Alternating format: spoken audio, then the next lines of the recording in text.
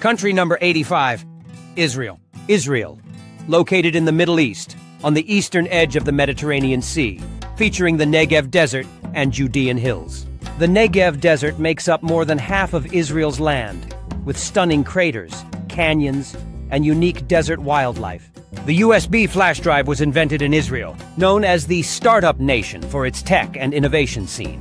Israel is home to the world's largest known crater outside of the moon, the Ramon crater, the capital city, Jerusalem, a city sacred to three major religions, the political center of Israel.